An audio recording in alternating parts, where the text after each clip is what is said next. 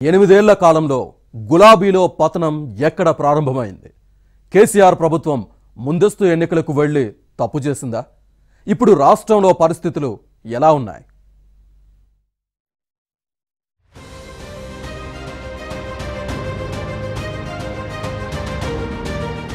ప్రత్యేక తెలంగాణ రాష్ట్రం ఏర్పడిన తర్వాత కేసీఆర్ ప్రభుత్వం ముందస్తు ఎన్నికలకు వెళ్ళింది.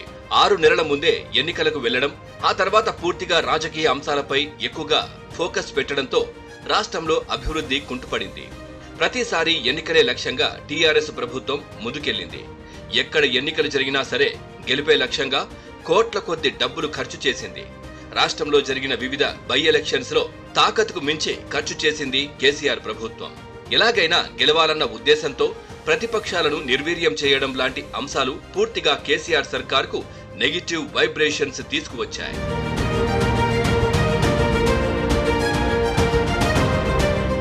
దుబ్బాక ఉప ఎన్నికల్లో టీఆర్ఎస్ పార్టీకి గట్టి షాక్ తగిలింది. ఎంత ఖర్చు చేసినా గులాబీ పార్టీ మొదటిసారి ఓటమి రుచి చూసింది. ఆ తర్వాత హుజూరాబాద్ ఉప ఎన్నికల్లోనూ ఓటమిని చూసింది. హుజూరాబాద్ ఫలితాల తర్వాత టీఆర్ఎస్ మానియా పూర్తిగా మారిపోయింది. ఏడేళ్ళలో ఎప్పుడూ లేనంతగా గులాబీ అధినేత కేసీఆర్ ఆ పార్టీ నేతలపై ప్రజల్లో తీవ్ర వ్యతిరేకత నెలకొంది. దుబ్బాక హుజూరాబాద్ ఉప ఎన్నికల్లో విజయం సాధించిన బీజేపీ తెలంగాణలో టీఆర్ఎస్ పై తీవ్ర స్థాయిలో విమర్శలు చేసుకుంటూ ప్రజల్లోకి వెళ్ళింది. ఫుల్ జోష్ మీదున్న BJP greater Hyderabad municipal corporation ఎన్నికల్లో చరిత్రలో ఎప్పుడూ లేని విధంగా తన ప్రాబల్యాన్ని చాటుకుంది. టీఆర్ఎస్ పార్టీకి గట్టి పోటీ ఇచ్చిన బీజేపీ నలభై ఎనిమిది స్థానాలను గెలుచుకుంది.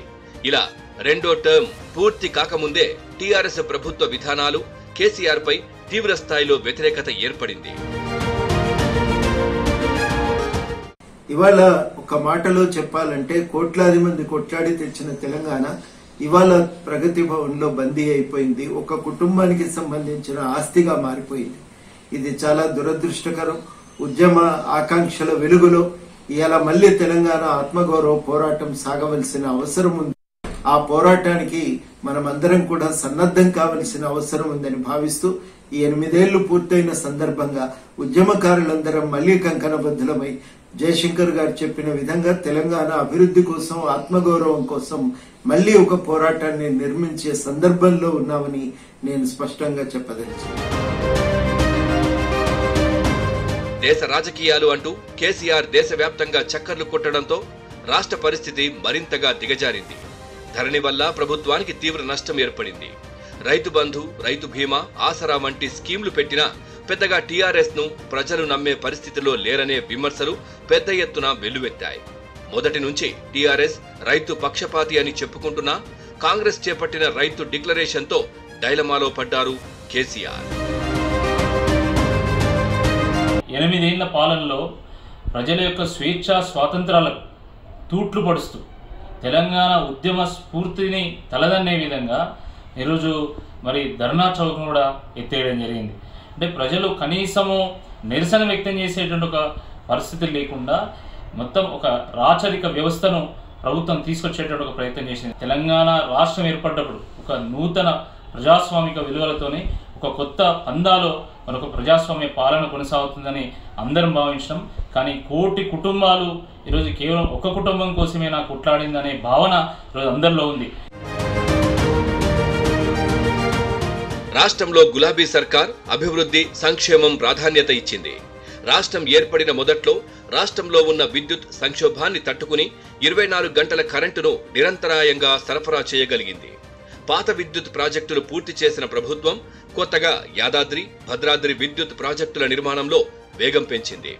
భారీ స్థాయిలో సాగునీటి ప్రాజెక్టులకు శ్రీకారం చుట్టింది. పొరుగు రాష్ట్రాలతో నీటి వివాదాలకు స్వస్తి పలికి ఒప్పందాలు చేసుకుంది. దీనికోసం ప్రాజెక్టులను రీడిజైన్ చేశారు. ప్రాణహిత చేవెళ్ళ ప్రాజెక్టు రీడిజైనింగ్ చేసి కాళేశ్వరంగా మార్చారు.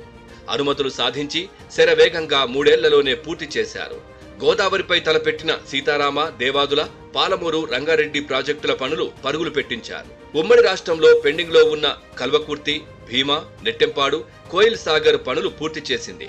పాలమూరు డిండి ప్రాజెక్టుల పనులు వేగంగా జరుగుతున్నాయి.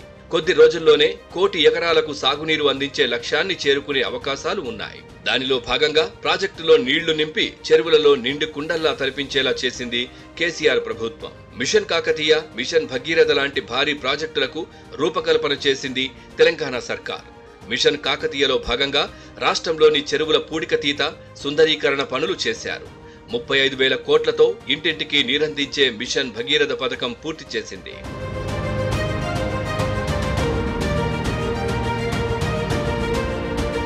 కంటి వెలుగు కార్యక్రమంతో కోటిన్నర మందికి ఉచిత పరీక్షలు నిర్వహించింది. ముప్పై ఐదు లక్షల మందికి కళ్ళద్దాలు పంపిణీ చేసింది రాష్ట్ర ప్రభుత్వం. వాటితో పాటు కొత్త రాష్ట్రంలో పాలనను ప్రజల వద్దకు తీసుకువెళ్ళేలా సంస్కరణలు చేపట్టింది.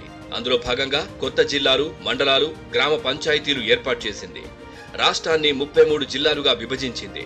జోనల్ వ్యవస్థను సవరించి ఏడు జోన్లుగా ఏర్పాటు చేసింది. తొంభై ఐదు శాతం ఉద్యోగాలు స్థానికులకే దక్కే విధంగా తెలంగాణలో నూతన జోనల్ మల్టీ జోనల్ను ప్రభుత్వం ఏర్పాటు చేసింది. కేజీ టు పీజీ ఉచిత విద్యా విధానంలో భాగంగా కొత్తగా SC ST BC minority residential పాఠశాలలు ప్రారంభించింది. ఎనిమిదేళ్ళలో కేసీఆర్ అనేక కొత్త పథకాలు అమలు చేశారు. సంక్షేమ రంగానికి పెద్దపీట వేశారు. కళ్యాణలక్ష్మి షాదీ ముబారక్ లాంటి పథకాలు అమలు చేస్తున్నారు. రాష్ట్రంలో రైతులకు వ్యవసాయానికి అత్యంత ప్రాధాన్యమిచ్చారు. దేశానికి ఆదర్శంగా నిలిచేలా రైతు బంధు పథకం అమలు చేశారు. దీనికోసం ఏడాదికి పదిహేను వేల ఏడు వందల కోట్లను రైతుల ఖాతాల్లో జమ చేస్తోంది. రైతులకు ఐదు లక్షల బీమా రైతు బంధు వంటి వినూత్న కార్యక్రమాలతో అన్నదాతలకు అండగా నిలిచింది. హరితహారం పల్లె ప్రగతి పట్టణ ప్రగతి లాంటి కార్యక్రమాలతో పల్లెలు పట్టణాల రూపురేఖలు మార్చే ప్రణాళికలు రూపొందించారు కేసీఆర్.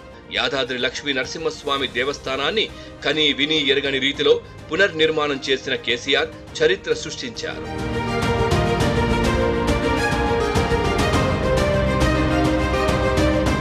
టీఆర్ఎస్ ప్రభుత్వం రాష్ట్రంలో తొలిసారిగా దాదాపు తొంభై వేల ఉద్యోగాలకు నోటిఫికేషన్ విడుదల చేసింది. నూతనంగా ఏర్పడిన తెలంగాణలో పరిపాలనా సౌలభ్యం కోసం కొత్త జిల్లాల ఏర్పాటు తర్వాత కొత్తగా కలెక్టరేట్లు ఎస్పీ కార్యాలయాలు నిర్మాణం చేపడుతున్నారు. ఇప్పటికే అన్ని జిల్లాల్లో కార్యాలయాలు పూర్తయ్యాయి. దాదాపు వెయ్యి కోట్లతో నూతన సచివాలయ నిర్మాణాన్ని ప్రభుత్వం చేపట్టింది. రాష్ట్రంలో పర్యాటక రంగం రోజురోజుకు అభివృద్ధి చెందుతోంది.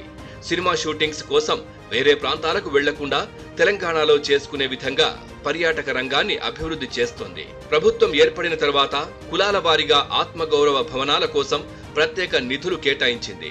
రాష్ట్ర వ్యాప్తంగా దాదాపు ఇరవై వేల కోట్లతో దళిత బంధు కార్యక్రమం చేపట్టింది.